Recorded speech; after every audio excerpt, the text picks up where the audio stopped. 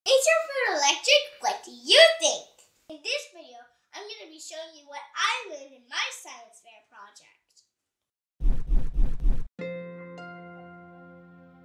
Hi, my name is Ashley, and I wanted to learn if fruits and vegetables can conduct electricity.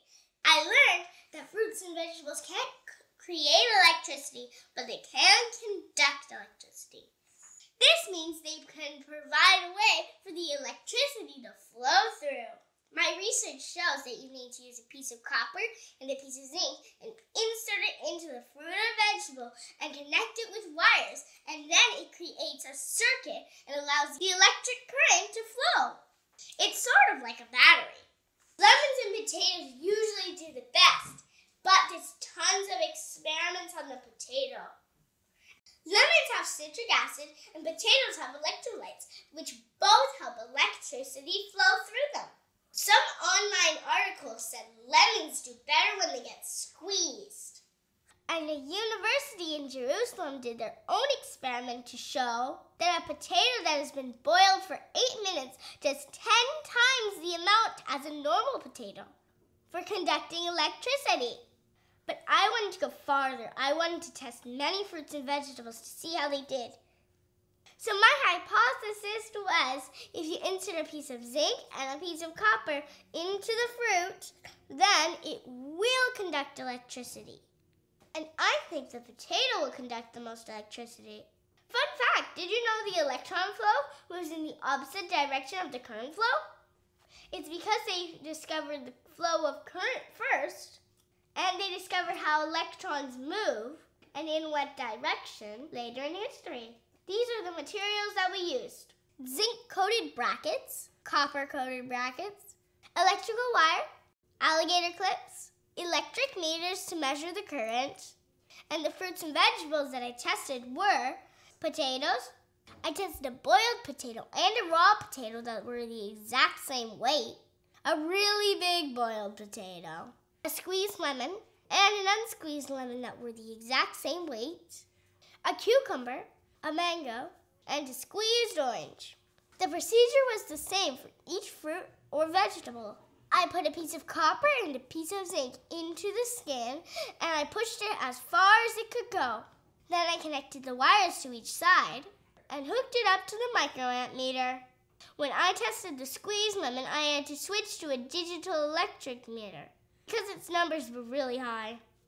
I measured the amount of current flowing through each fruit and vegetable by writing down how many microamps the meter said every hour. I did this for 48 hours. Here's what I found. When I compared the squeezed lemon to the unsqueezed lemon, there was a big difference. The squeezed lemon did much better.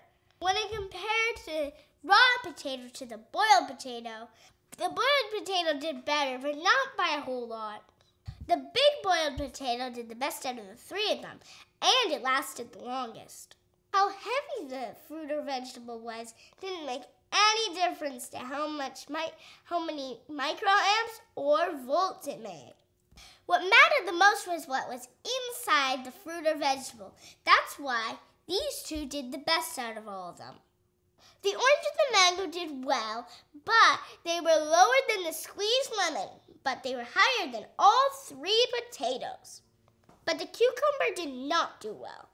I noticed that moving the copper and the zinc close together made a difference. I started with them far apart on the cucumber, but when I moved them closer, the number of microamps got higher. Squeezing the lemon again made the numbers go higher for a short period of time, too. Same with pushing the copper and the zinc in the fruit farther. It made the numbers go up. I tried to control the variables, like using the same type of wire. I weighed all my fruits and vegetables, and I set a timer so that I made sure to check every hour. Some variables that I could not control were how close the copper and the zinc were together. I tried to make it as exact as I could. I ha also had to use two different types of meters. In conclusion, I learned that fruits and vegetables can conduct electricity but the amount of electricity that they can conduct depends on the fruit or the vegetable. The squeezed lemon and the orange did really well, I think that when you squeeze it, those little compartments break down, which makes it so the electric current can flow through better. The mango did okay. The potatoes did fine, but the cucumber didn't conduct very much. I think that if you have enough squeezed lemons and you hook them all together, you could have an alternative power source. But I don't think it could light up your entire house. I hope you liked this video. I'll put links to some of the articles I looked at down below. Thanks for watching my video. Bye!